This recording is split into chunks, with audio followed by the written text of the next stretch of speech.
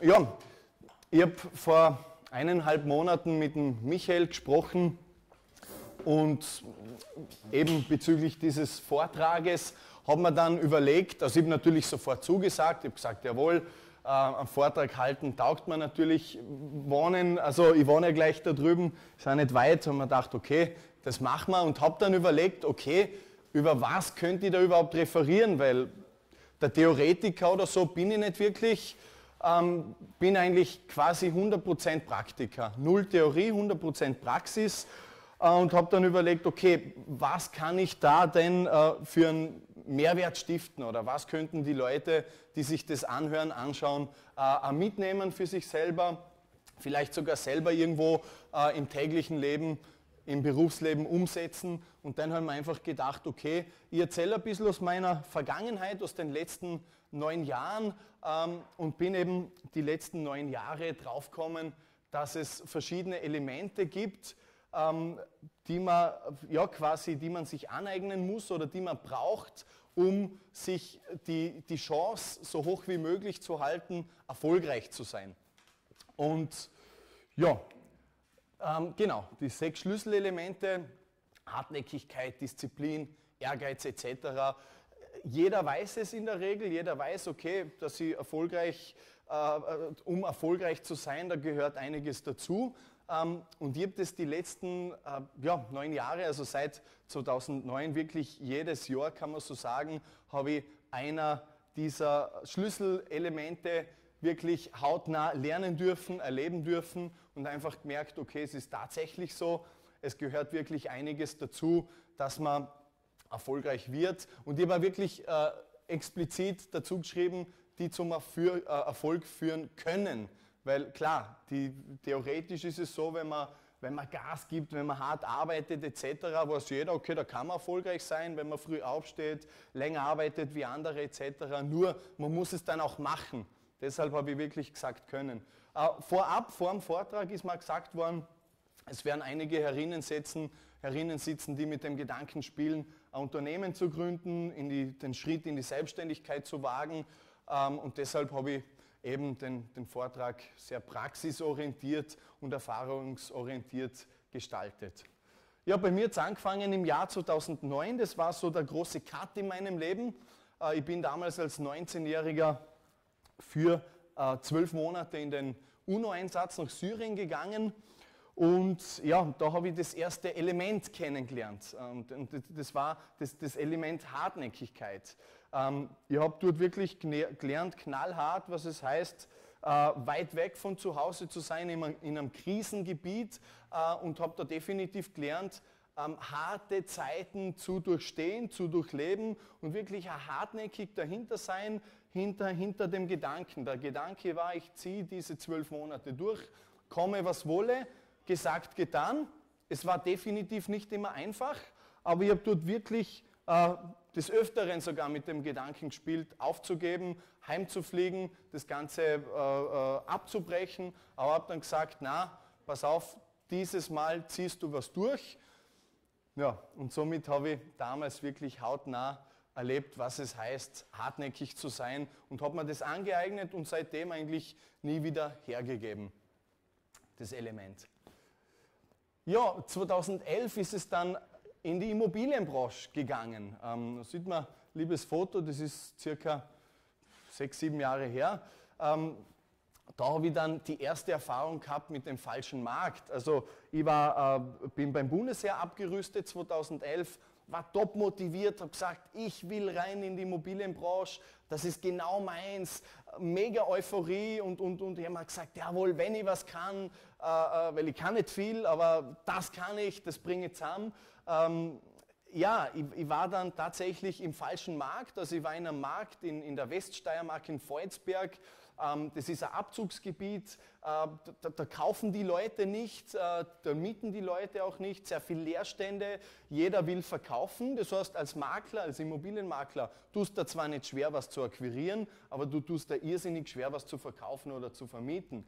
Ähm, und ich mir dann gedacht, boah, sechs Monate, kein Abschluss, liegt es an mir, liegt es nicht an mir, liegt es am Markt. Ähm, hier habe aber dann wirklich gesagt, na, ich glaube an das Ganze, ich glaube daran, dass ich das schaffen kann, dass ich den Sprung in die Immobilienbranche schaffe und auch und auch so weit komme, dass ich wirklich gut davon leben kann und erfolgreich werde. Äh, und habe dann nach sechs Monaten ähm, geografisch gewechselt von Volzberg nach Graz. Ja, und dann äh, hat es funktioniert. Da habe ich nach drei Wochen dann die erste Wohnung verkauft und das hat dann Fahrt aufgenommen. Aber da war das das Element der Glaube. Ich wollte es unbedingt, ich wollte Immobilienmakler werden, äh, ich habe geträumt vom äh, tolle Immobilien präsentieren und, und habe das schon im, im, Kopf gehabt, die Vision, wirklich, habe mich da gesehen als mit einem Anzug und, und mit, mit, mit wohlhabenden Leuten, die dann durch die Häuser führen. Äh, und habe die Vision gehabt und habe daran geglaubt, nur damals mit sechs Monaten mit null Euro Verdienst, glaubt man dann ab und zu nicht mehr ganz so dran. Aber ich habe dann gesagt, okay, na, wir ziehen das durch, wir wechseln äh, in eine andere Stadt und dann hat es auf einmal funktioniert. Und da war das zweite Element, äh, was, mir, also was dann quasi gelehrt wurde und das war einfach der Glaube. Der Glaube an was? Der Glaube an sich selber, der Glaube vor allem an die Vision und an den, an den Traum, den man ja verfolgt. Ja, 2012 Einstieg in die Selbstständigkeit als Immobilienmakler. Da waren dann ähm, die ersten Erfolgserlebnisse da. Ich habe da gezielt ein Foto gewählt. Das war äh, mit einem äh, Kollegen, da haben wir gemeinsam eine Wohnung verkauft. Und der Kollege hat gerne einmal gefeiert und gerne einmal angestoßen und gerne einmal trunken und hin und her. Und ich habe mich da natürlich dem Ganzen angehängt. Ich habe mir gedacht, na, jetzt läuft schon recht gut, jetzt, jetzt rollt der Rubel und jetzt spielen wir mal mit, wie die werten Kollegen, die jenseits 50 waren, die natürlich äh, Jahre, Jahrzehnte lang schon gearbeitet haben in der äh, Branche, die sich das auch wirklich knallhart verdient haben. Aber ich als junger Makler habe mir gedacht, okay, ich muss da mitspielen.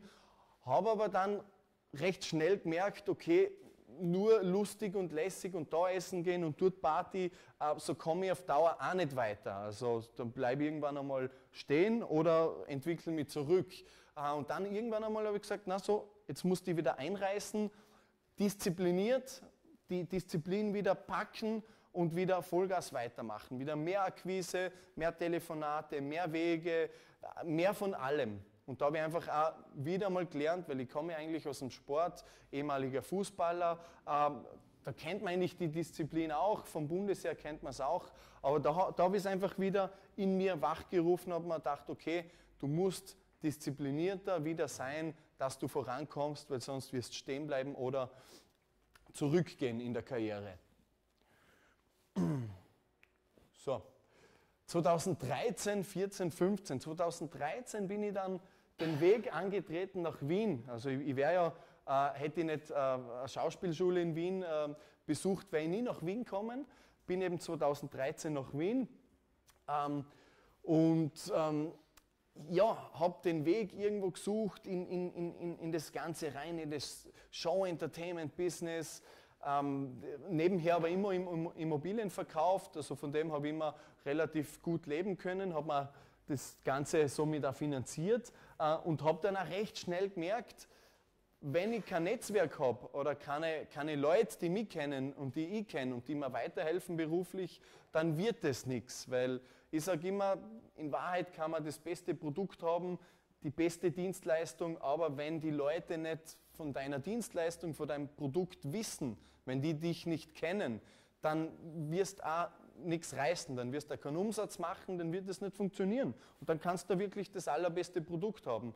Und ich habe dann gesagt, okay, wenn jetzt definitiv was passieren muss, dann ist es der Netzwerkaufbau und bin dann wirklich kategorisch hergegangen, habe Dinge probiert über Mr. Austria Wahl, Captain Morgan Show Entertainer, Fernsehwerbung, ZDF-Produktionen und jedes Mal hat es mir wieder ein bisschen weitergeholfen und, und wieder so auf eine, auf eine, kleine, minimale Stufe weiter nach oben gebracht. Weil klar, man lernt überall die Leute kennen und auch hin und wieder mal in einem sehr hohen Bereich, was natürlich, klar, beruflich nur Vorteile haben kann. Und da habe ich einfach wieder mal gemerkt, wenn man niemanden kennt, kommt man nicht weit. Weil ich, wo ich nach Wien gekommen bin, 2013, niemanden gekannt äh, und habe dann in der Sauna äh, quasi wirklich in der Fitness, im Fitnesscenter, in der Sauna mein erstes Millionenprojekt akquiriert eineinhalb Jahre später verkauft und seitdem habe ich, glaube ja, Immobilien verkauft im, erst, also im, im ähm, hohen Millionenbereich, nur wegen diesem einen Saunagang, wo man miteinander redet, wo man Kontakte knüpft und das zieht sich dann äh, sofort die Jahre und, und wird dann wie ein Schneeball, den man in Wahrheit dann ja gar nicht mehr weiter anrollen muss, weil der rollt dann einfach. Ja, so. Genau, 2016, Kinofilmproduktion Mr. Imo. 2016 war recht ein spannendes Jahr.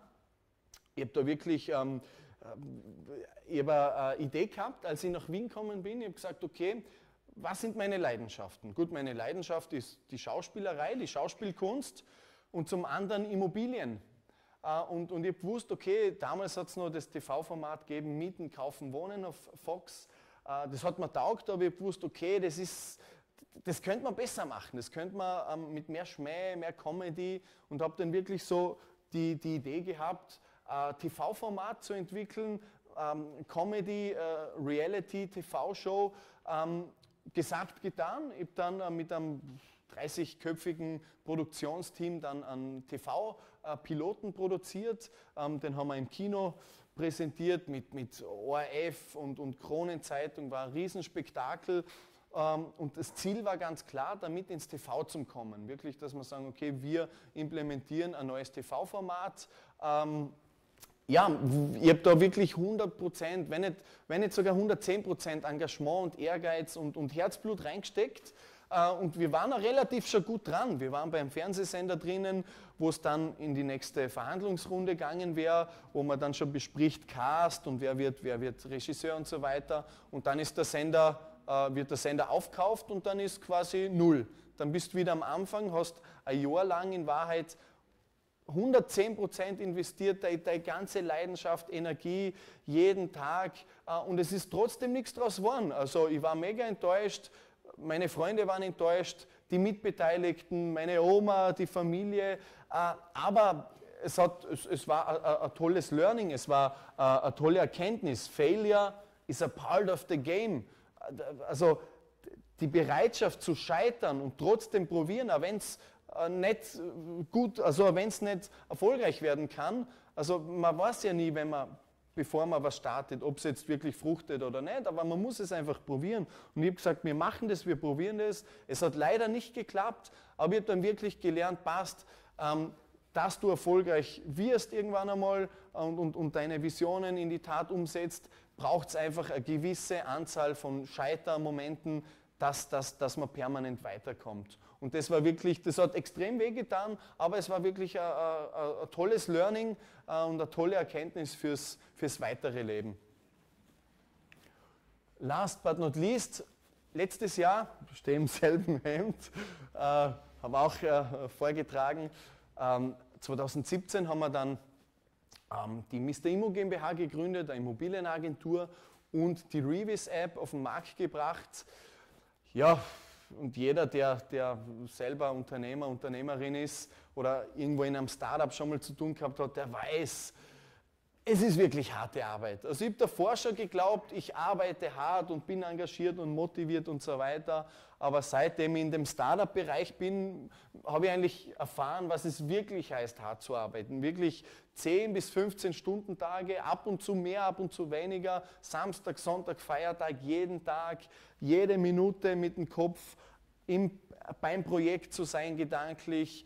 Ähm, das, das ist hart. Also Erkenntnis, Learning ohne Fleiß kein Preis. Das ist wiederum so ein altes Sprichwort, das hat wahrscheinlich jeder schon mal gehört von den Großeltern, von der Mama, vom Opa, wie auch immer. Ähm, gepredigt wird es immer, ohne Fleiß kein Preis. Nur es ist die Frage, was ist jetzt der Fleiß? Wie viel ist der Fleiß? Ist der Fleiß acht Stunden am Tag?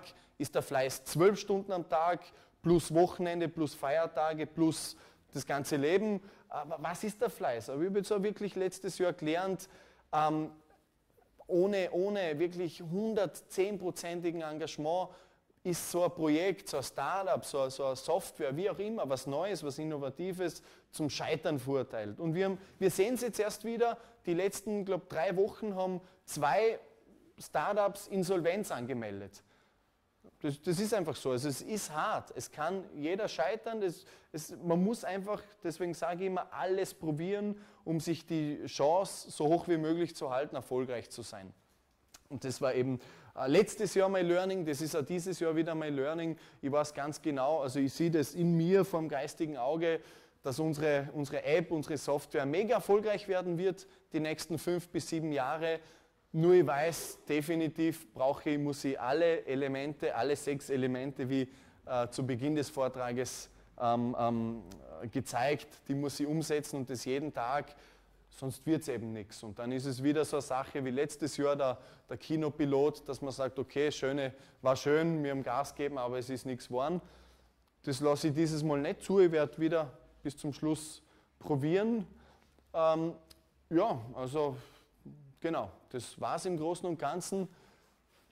Da sind, glaube ah ja, genau, ich habe da noch so ein, habe mir da irgendwo so ein Zitat aus den Fingern gesaugt, also ähm, überlegt, was ich als Abschlussmessage nur mitgeben kann. Eben jedes Jahr erleidet man zahlreiche Rückschläge, die einen aber, wenn man nicht aufgibt, wieder weiter voranbringen und stärker machen. Ist auch wieder so ein Gesatzel, der eine sagt Schaß, der andere sagt, okay, nehme ich mit. Es ist einfach die Tatsache. Wenn man sich nicht unterkriegen lässt, wenn man die Idee hat, die Vision hat, man soll es machen, man soll es durchziehen, man soll sich nicht unterkriegen lassen und dann wird es irgendwann einmal klappen. Das war's von meiner Seite. Herzlichen Dank für eure Aufmerksamkeit. Danke.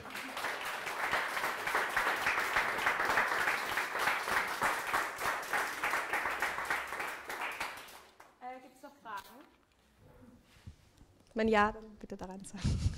Nein? Ja? Wer jetzt? Ja. Ich hätte, schon, ich hätte ganz gern gewusst, ein bisschen was zur App. Was ist da die Vision oder wo will die, willst du damit hin? Mit der App? Mit der App oder was, was ist das Besondere an der App? Also die, die, die App, also die App, es ist in Wahrheit, es ist eine Applikation. Also die Immobilienmakler, Bauträger und Hausverwaltungen dabei unterstützt, Wohnungsbesichtigungstermine auszulagern. Ganz simpel, ganz einfach.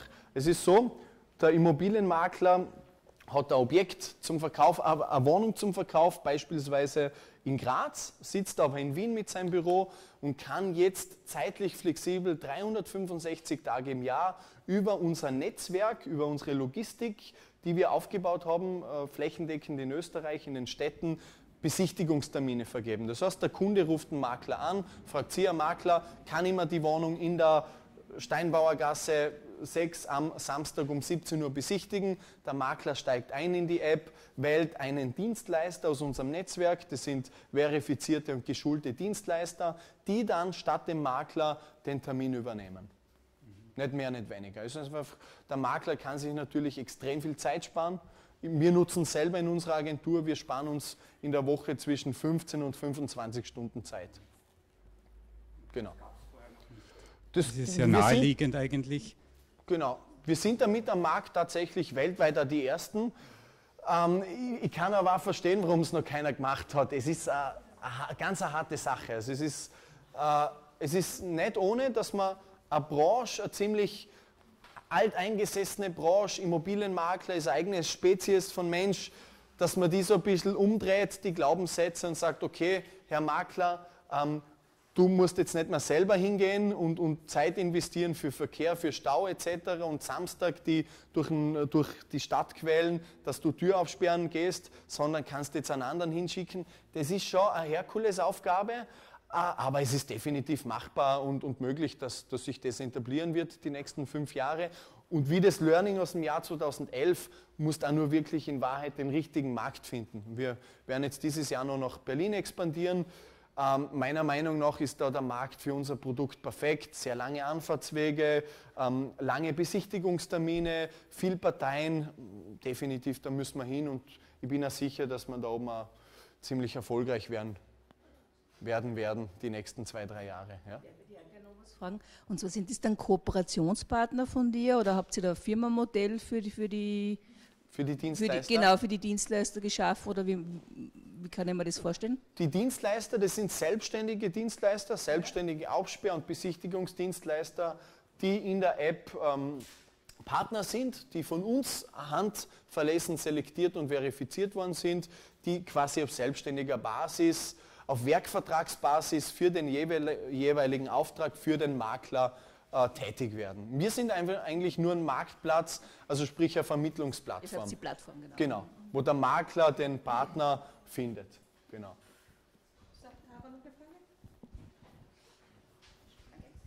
Ja, du hast mir jetzt eh schon einiges vorweg.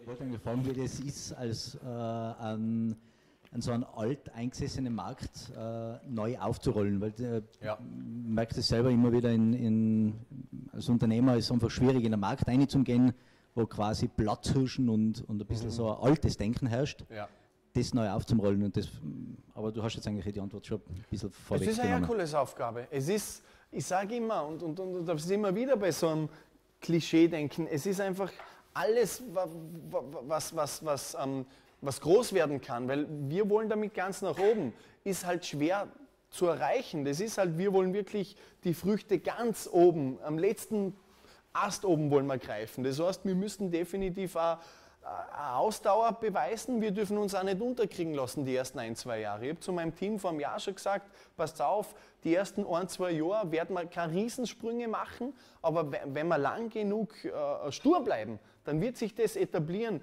weil dann ist es so, mit der Zeit stellt sich das natürlich ein. Da hast du einmal den ersten großen Kunden, dann hast du einmal dort einen Presseartikel, dann hast du den zweiten Kunden, den dritten und die Branche ist ja sehr gut miteinander vernetzt. Wenn du einmal ein paar dabei hast und ein, zwei Big Player, dann, dann, dann, dann schließen sich ja die, die kleineren an und irgendwann einmal erreichst den Markt da wirklich. Und dann ist natürlich das, was wir gesagt haben, wir wollen nach Berlin, weil da werden wir uns nicht wirklich so schwer tun, weil da die Leute, die, die Branche ist jetzt komplett anders wie in, wie in, Österreich, wie in Wien. Da ist der Beruf nicht reglementiert, ähm, da herrscht das Bestellerprinzip bereits, das heißt, der, der den Makler beauftragt, zahlt. Das heißt nicht wie bei uns, der Mieter darf den Makler zahlen.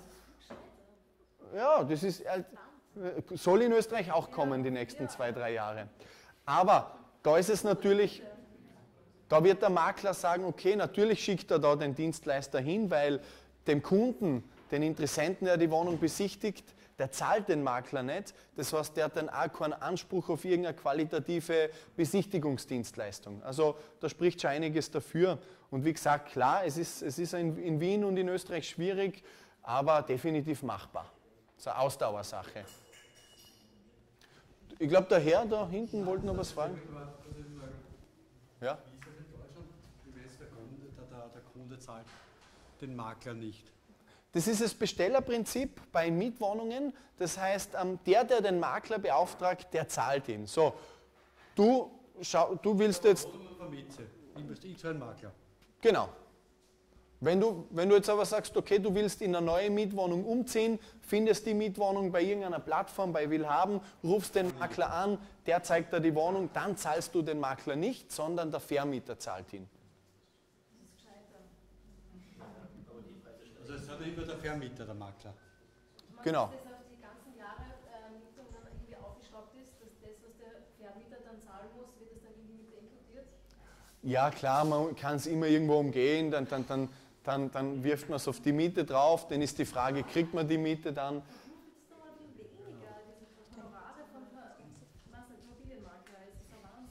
Ist das jetzt deine Frage? Ja. Warum wird die nicht weniger? Ich bin kein Politiker, da kann ich jetzt wenig mitreden. Ich, ich, ich kann nur meine Meinung preisgeben. Äh, ja, ja, ja. Gut, nach wer? Da die Herren aus der zweiten Reihe, gibt es vor euch noch? Der Herr mit der Brille, von dir vielleicht noch? Der, der andere mit der Brille, mit der Mütze, Kaffee? Nix? Okay. Das ist übrigens mein Team. So, Mitgründer Tom. Ja. Naja. Ich hätte schon noch eine Frage. Also, wie oft wurde die App jetzt downgeloadet bisher? Hast du Zahlen? Das äh, müsste ich meinem äh, CTO fragen. Da habe ich keine Zahlen momentan okay. aufliegen. Also, wir wissen aber nicht, wie, wie intensiv die App dann genutzt wird. Wissen tun wir es definitiv. Nein, schon, aber jetzt nicht. Also, aber wie, wie sagst du? Du weißt das jetzt nicht. Jetzt in dem Moment, Ja, ja. ja, okay. Ich sage, ich habe eine IT-Abteilung, äh, das sind einige Developer, die das Ganze überwachen und so weiter. Ich bin der, ich bin der, der Kaufmann, also ich habe mit dem jetzt äh, operativ nicht viel zu tun. Ja. Genau, aber es spielt auch gar keine Rolle, wie viele Leute die App downloaden, weil wir, unser Geschäftsmodell basiert auf den ähm, Abschlussverträgen mit, mit Maklern und Bauträgern etc. Genau. Ja. Ja? Ich glaube, das geht gar nicht. Oder? Geht das? Bei so einem, bei so einem Besichtigungstermin Ja. äh, erfährt man als Makler auch einiges vom Kunden, oder? Ähm, Gibt es da auch Möglichkeit bei der App, dass dann wieder Informationen zum Makler zurückfließen, an was der jetzt Interesse gehabt hat, ob der überhaupt Hm. intensives Interesse hat Das ist eine so? gute Frage. Das äh, wird jetzt demnächst wahrscheinlich noch drittes, viertes Quartal ein neues Feature. Das haben wir, ähm, wir waren in Berlin ähm, und vor zwei Monaten haben, wir, haben dort den Markt ein bisschen eruiert und da war genau das das Feedback von den Maklern, die gesagt haben, okay, ähm, ja, sie wären definitiv dazu bereit, dass sie da einen externen Dienstleister hinschicken, aber sie hätten schon gern irgendwo Feedback vom Kunden. Zumindest ähm, wenn es dem Kunden nicht äh, gefällt, warum nicht? Äh, Und, und ähm, einfach so ein paar Sachen, so Feedback. Sind wir definitiv dran, ist äh, definitiv ein guter Input.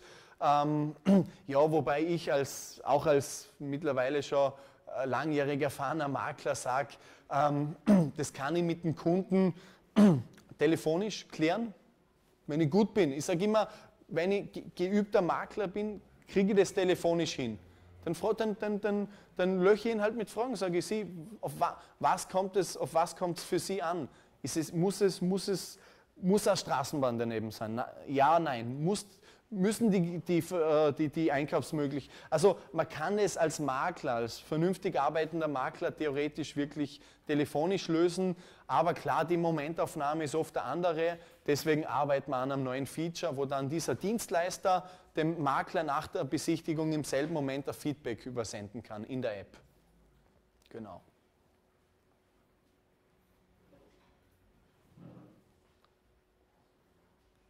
Irgendwo hat noch jemand aufgezeigt, Billy mein. Na gut, dann herzlichen Dank, meine Damen und Herren.